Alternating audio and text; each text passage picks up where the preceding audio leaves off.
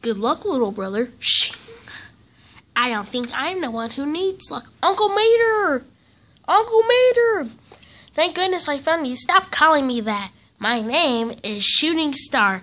Okay, sorry, Uncle Mater. I, I mean, Falling Star, but you have to listen to me. Uncle Doc says your safety valve hasn't been reassembled properly. Nonsense, LJ. There's no time for this. The race is starting. No, Uncle Mater, wait! You can't race! Oh, wait, wait, there's a little race car there, folks. You can overheat. Your engine can blow up. Oh, LJ, will you stop your whining? There's no other rookie. I will be outshiny. Too late. I've got a date. Streamlining.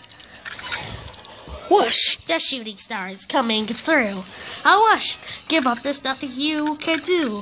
A whoosh! Cause all you ever see of me will be a shiny speak of racing blue. My clouds today, I'll have a silver lining. I see my bossy brother gets an undermining. Cause I'm the cream, the best in steam, streamlining. And Jeff are still Jeff and Idiot are still holding the lead, but after long last, the shooting stars came, came up. Mater, Mater, that's not my name. You have to stop. Listen to me, Mater. There's something wrong. I can't stop. I won't stop. Well, no, I don't know what's happening, but it looks like the shooting star is having some kind of trouble. Whoosh! The shooting star is coming through. Whoosh! Give up, there's nothing you can do. I think it's all over because all you see of me. Ah! It is now. His engine blows up. He's slowing down. And the shooting star is out of the race. What a tragedy. Oh, the indignity.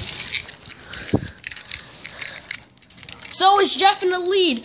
And Idiot coming up from behind, followed by Shifty, Sidewinder, and Tater, Toe Tater. As they approach the finish line, it looks like Jeff is going to take it. But wait, but wait, Idiot's coming up faster. Bye bye.